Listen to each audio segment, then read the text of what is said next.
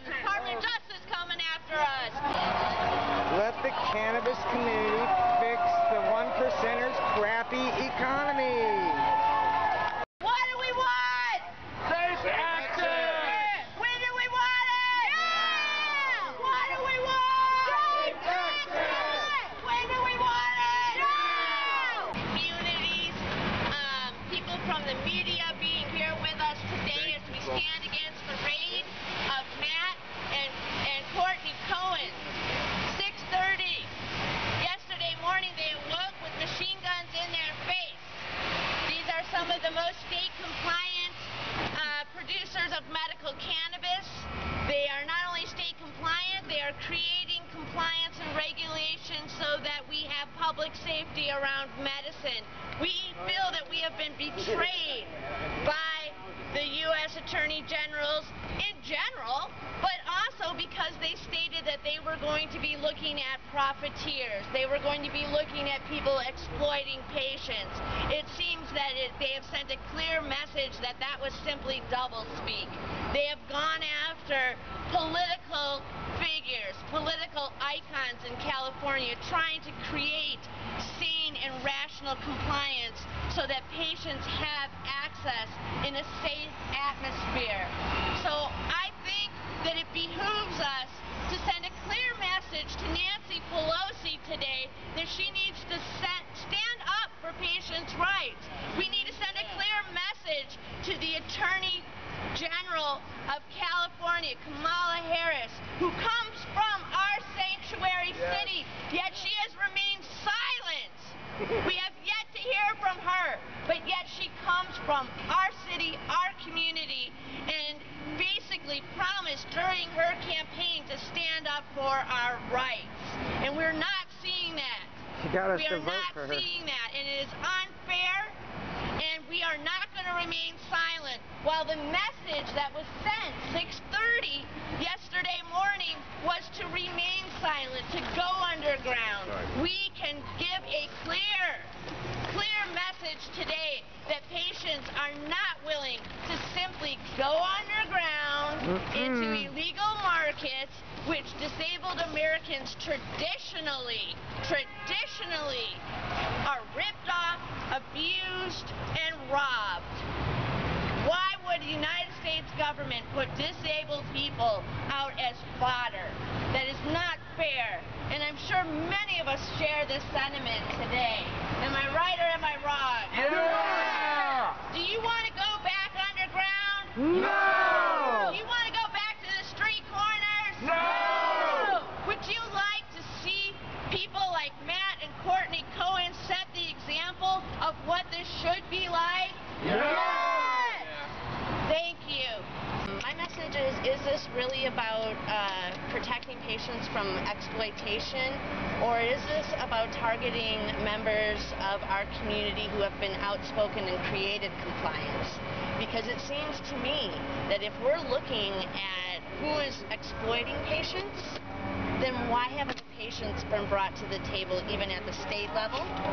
And if we're looking at stopping patient exploitation and profiteering, why was the person who created compliance and was a pioneer on the regulations in Mendocino awoken at 6 o'clock in the morning with a machine gun in his face? I say we have a different tone going on here, and um, it seems to me that this is a moralistic tone and a targeting of people that have been willing to work with local governments to create compliance and bring safe access in a nonprofit manner to to the patients as the voters voted upon. So I have a lot of issues with what actually occurred right after our um, four U.S. attorneys decided to announce very publicly um, that they were going to be attacking our community. And as a disabled American, um, I do not like the federal government saying that they are standing up for me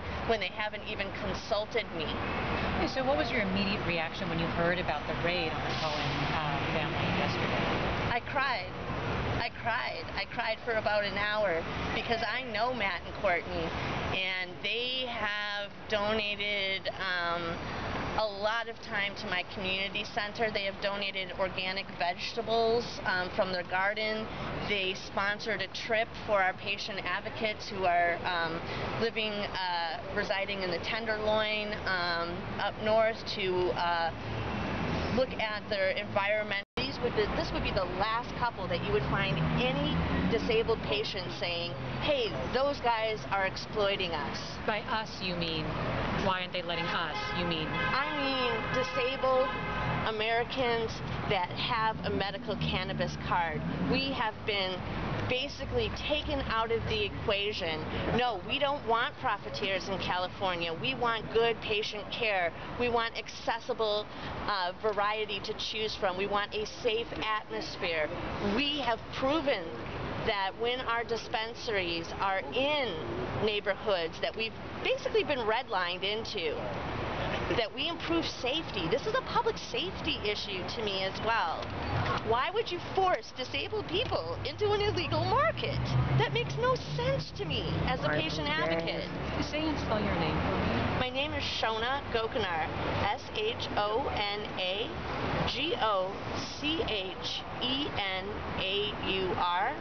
O N A G O C H N A U R. And, and you're with the community center. Say the name of your community center. Uh, my community center is the Axis of Love Community Center. I am a seated member as a patient advocate of the Medical Cannabis Task Force of the City of San Francisco. and um, the other, the other thing I was wondering is, so this is part of. You're saying that you were, you cried that you were upset because they were, but this is part of a larger effort. And you said you were surprised because they were so compliant. They went after somebody who Not only were they compliant, they were pioneers. There's a difference between compliance and being a pioneer. Matt and Courtney are pioneers. They have worked with Mendocino government, Sheriff Allman, and other law enforcement were prepared to testify on behalf of this cooperative at the state level. Why is this the first raid after the U.S. attorneys announced this? This makes us believe that they have declared war on the people who are trying to create a compliant atmosphere in California and bring about public safety, not just for medical cannabis patients and providers, but for our communities as a whole. Have you talked to Matt Courtney? I did receive an email last night from Matt, and he said that they had confiscated his cell phone and that he had no way to get in contact with me. And so I did email him back my um, telephone number, and I haven't spoken to him as of yet.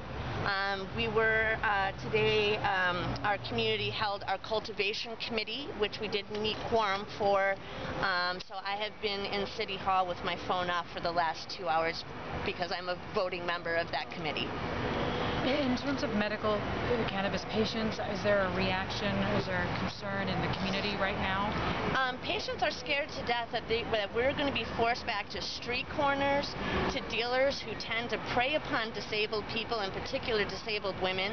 Rob. Um, rob uh, disabled people. Um, we're concerned that the banks are no longer um, accepting um, our debit cards when we go to our uh, dispensaries, so now we're forced to uh, carry cash as disabled people, and that um, inflicts upon our public safety and the public safety of our host neighborhoods. This is a completely contrary to the um, public safety message that I believe the Safe Access community is trying to bring, not only to our state, but to the other 15 medical cannabis states. And at this point, you know, kind of joke and say we'd like to succeed from the nation, but I'm not even joking. This is a fundamental um, being put in a position of being second class citizens as disabled Americans, and I'm not going to stand for it. So you mentioned you're a patient. Do you mind sharing what it is that you need cannabis for? I have a seizure disorder, and most of the seizure disorders uh, medications uh, cause severe side effects. Uh, you know, when you see those commercials and they have the long list of all the side effects, which include, you know, nausea, even suicidal tendencies, etc., drastic mood changes. Where if I can find a dispensary where I can sit down and medicate when I feel a seizure coming on, I can medicate and then I can go and leave that dispensary and come into this country and be a productive part of the workforce. And now I'm being told that I can't. I'm also told that I no longer have my constitutional rights to bear arms. And I'm not a big supporter. I'm not, you know, in the NRA or anything like that. But recently I have been stalked and was actually suggested to me by the SFPD that I learn to use a handgun. And now I'm not allowed to protect myself. It sounds absolutely nuts to me. And I'd like to know how. Um, and I'm also really saddened because I don't see our state government standing up for us, yet they took millions upon millions of dollars in tax revenue. It's taxation without representation. It's being relegated to a second class citizen, and it's also blocking our access to what our physicians recommend. That is a private relationship between a doctor and a patient, and my physician recommended medical cannabis for my condition. Have you tried to get in touch with any state folks about this? Yes, I have, and there's only Since it happened yesterday? yes, yes.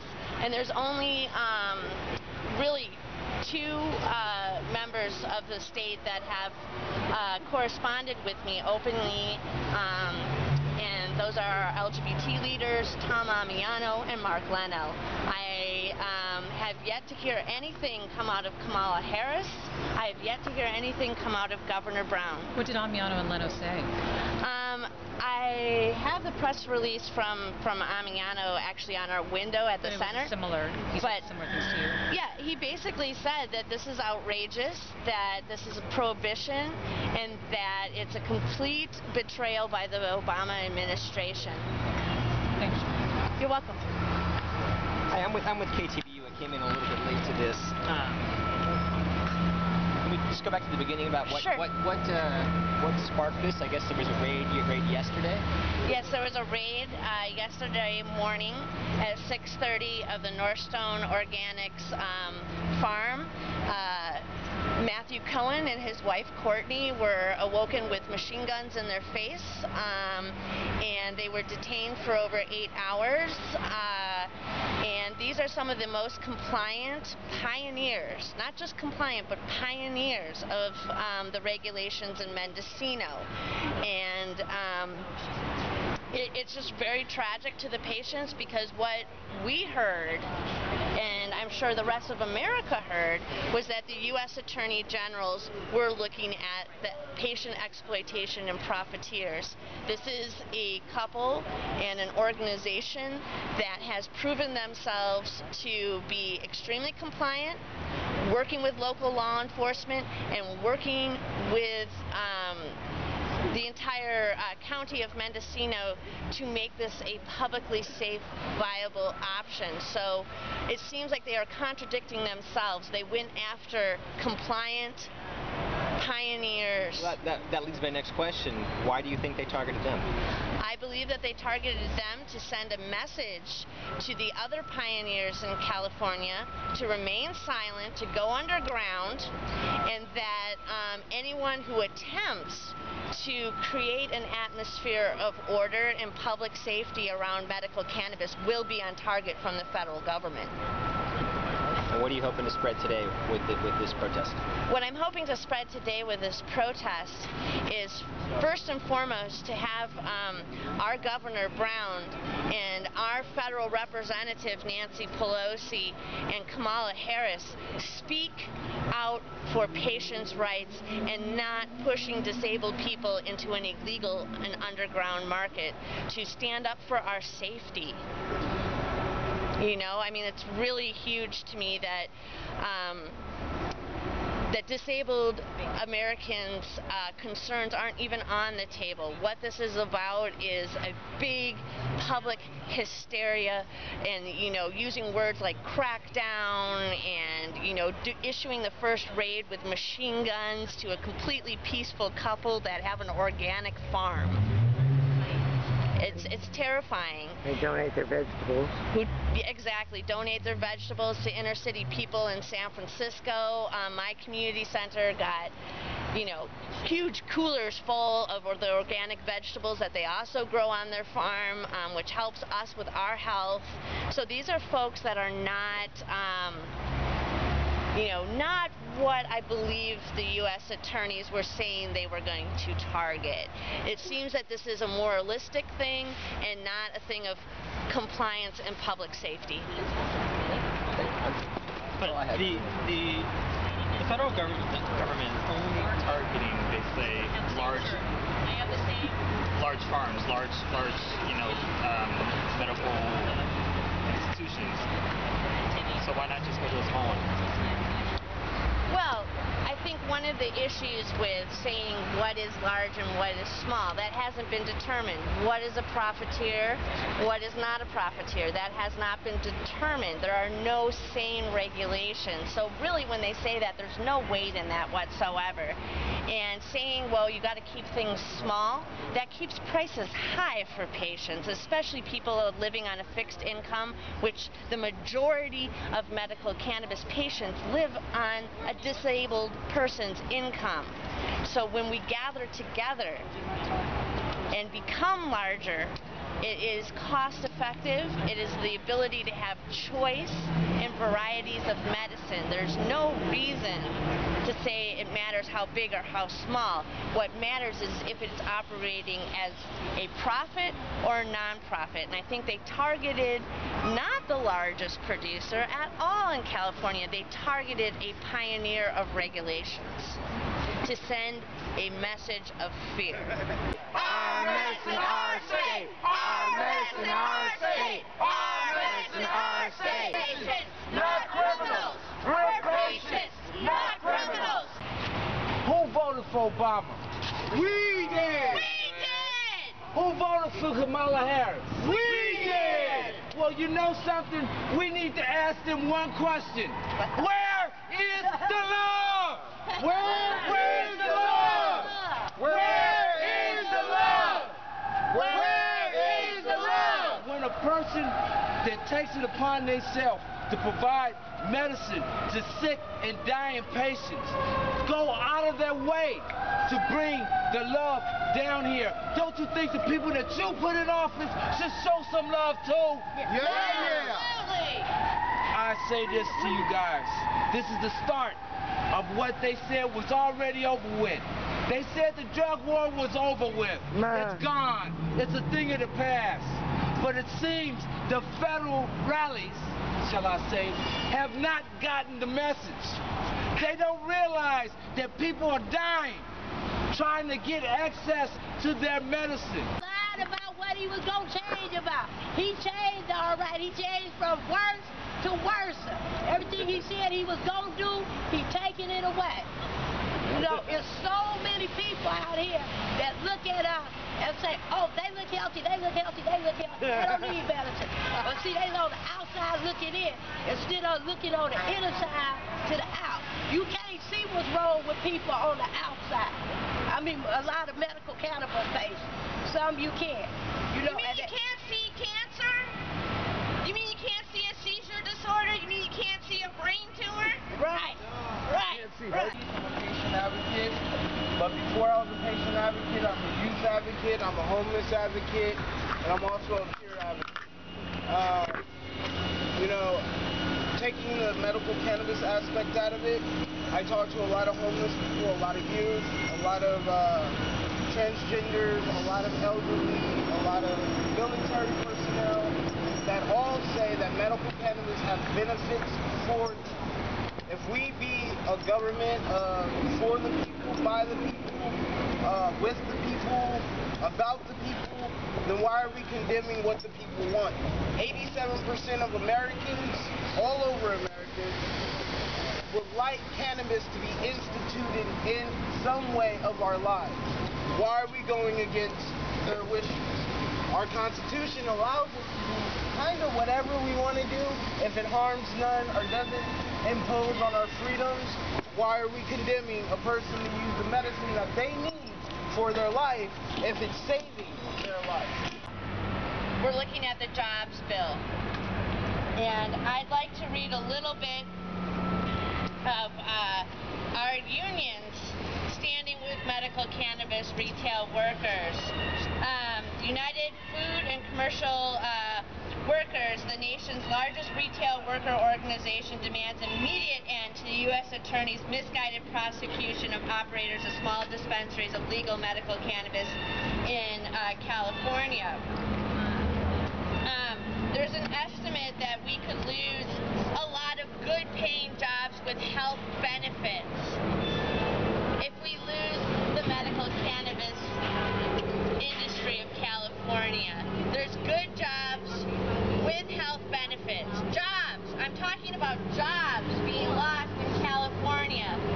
That's not okay. And we do have uh, a member of a trade association that perhaps can help us address this a little bit better. Hi, everybody. Thanks for showing up today, everybody. My name is Ethan Summer. I'm the executive director of the uh, Medical Cannabis Association, which was founded by Dr. Todd uh, about 10 years ago, who's since passed on. Um, you know, I got a phone call today from a friend of mine who was really bummed out because he just lost his job. He was actually working for uh, Matt Cohen over at Firstone Organics, and this is a really nice guy. He's out of a job now, and we thank Obama for that. Uh, here's a fun little fact for you. Did you know that last year the uh, Board of Equalization, which is the, I guess it's kind of like the California's IRS, if you will, uh, uh, said that it got $150 million in tax revenue from the dispensaries last year. Now, just from the dispensaries. Think about the hydro stores, the all the ancillary businesses out there. So this industry, all right, is very important uh, for for this state and for our jobs and, and for our our, our, our, our, our communities. And um, it's very important that we, we speak out to, to protect our jobs. Jennifer Nicoletto, and I'm an attorney who specializes in medical cannabis defense. And uh, I am here because of the all-out war that the Obama administration is apparently waging against our medical cannabis community here in California. It is an absolute about-face. Uh, when you look at his policy that he uh, had uh, reflected in 2009, he said he was going to leave it to the states. But all of a sudden, lo and behold, two weeks ago, we got a surprise. Our clients are getting, you know, uh, letters from their landlords saying that the landlords are facing up to 40 years in federal prison and seizure of their assets if they continue to uh, rent their spaces to these medical cannabis dispensaries. Uh, they have 45 days now to be evicted from the date of that letter. And they targeted, they said first, those that were within uh, a certain distance of schools, but we also have a client who's just gotten a letter because they are located too close to a park. All right? So, you know, it's much broader than they are than they are, you know, letting people know. And the other issue is they're also attacking now the publishers and uh, you know, magazines and they're trying to say that they are going to go to prison potentially if they keep advertising an illegal substance.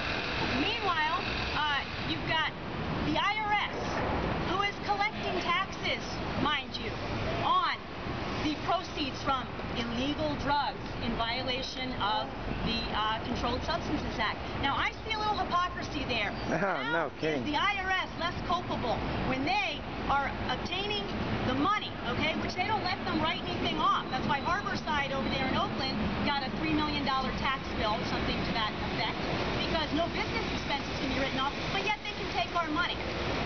Now, the culpability level between the IRS taking that money and a landlord that is renting out a space at market rate is unbelievably different. So what we want to do now is potentially sue the IRS. Okay? And I want to say I voted for Obama, and it is shameful. He is the worst president since Nixon, okay, when it comes to medical cannabis right now. And I am, I am absolutely outraged. And, and the sad part about it is we're going to see a Republican most likely be elected because he's alienating his base. We are his base. And I don't understand what the hell he's doing. I'm a compassion advocate. I give out free medical cannabis to those who cannot afford it. And I want to say that I wasn't the first. I'd love to say that, but I wasn't. You know what? Who, who was the first? The federal government. And they still grow marijuana for four compassion patients they have left that haven't passed on on their list. They um, I think it's 55 pending uh, pa- patent uh, ideas, and we're really looking at also war of who is going to control medical cannabis. Is it going to be the pharmaceutical companies, and um, or is it going to be the medical cannabis community? I also want to uh, remind people that on the global level, the United Nations uh, Committee on Drug Policies declared the drug war a failure. That committee included Reaganites like uh, Shultz. Um, our former U.S. Uh, federal attorney for our district, I'm going to perhaps not say his name right, but Rusinelli, basically said that he had some more important things to deal with than medical cannabis, that he was more concerned about human trafficking. And that was the Republican appointee for our U.S. district here. So I'm asking, what is the difference here between Democrats and Republicans? I'm not seeing much difference here. No. Do you know? Um, and it's really frightening when at a global level we can say the drug war has failed. But in the supposed progressive state of California, people are waking up with machine guns in their face for complying with state law. None of this makes sense. And I really, really, really sincerely hope that people, after this rally, if you live in this district, go up to your federal representative's office, ask for Melanie Nutter or Dan Bernal, who are legislative aides, and ask Nancy Pelosi's staff, what are you doing? What are you doing to protect your constituents? What are you doing? Because so far, our federal representative, to my knowledge, to as of today, has not said anything about up. And the other thing I'm concerned with is if the federal government is going to come out with this, we're going to stop patient exploitation. There's no patients at the table to articulate what patient exploitation consists of and what our solutions are to make our collectives run by our communities? We're not being included in the discussion and we're being pushed into danger. There's clear evidence that prohibition causes violence to escalate. So for public safety reasons, for every reason that we can count on and, and, and articulate, this is failure. And it's nothing but a declaration of war. Again, I don't They wanna want their drug money back. person speaking. Is there Well, here's what I wrote so far. Truth is the real money. I wrote Rupert Murdoch killed the the liberal class. It isn't news. Or the truth gate the truth gatekeepers. It's it's ideological warfare. Let the cannabis community fix the one percenters' crappy economy. The war is a racket, that's for sure.